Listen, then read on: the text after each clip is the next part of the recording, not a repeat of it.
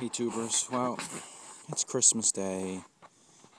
Uh, I haven't started a truck since, like, a week? Yeah, it's been like a week. Um, as, you, as I've been telling you, well, I gotta get the hub bearing. Actually, I got, the only reason I have been using the truck is because the hub bearing's bad right there. I gotta fix it. Um, and I'm probably not going to show this video until after Christmas, just to make a, a uh, you know, my normal daily, um, every two days or every three days video. So, just do a cold start with the truck. Maybe we'll have some fun with the CB radio too. Say Merry Christmas to some truckers, maybe. See what happens. It started up uh, I will stop this video on this and then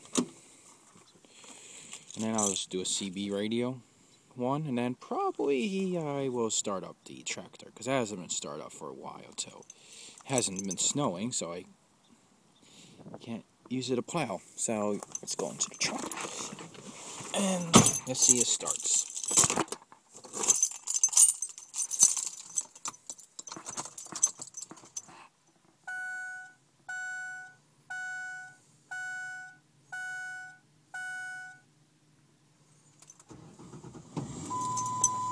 Wow. That's great. I love that new battery. No problem. And if you're just wondering, uh, stick thing. That's how much I got on, how much mileage I got on the truck right now. And that's my aftermarket radio. Um, I do have uh, some, I think it's Peer. Yeah, Peer. Uh, six by nine speakers in it. I'm gonna try to put um I have two speakers. I'm not sure. I actually have three of them, but if I can find the other, I think I might have four. But I'm only gonna use the ones that are in a box right now because I can't find the ones the other one that's out of the box. They are six by nine peers. I think they're peers. I'm not. Don't quote me. But when I do do it, um, I will make a video on that and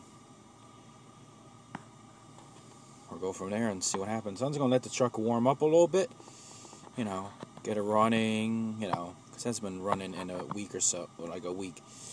So, well, that's it, tubers. So, I'll see ya. Don't forget to comment on this video and please subscribe to my channel. Alright, see you, tubers.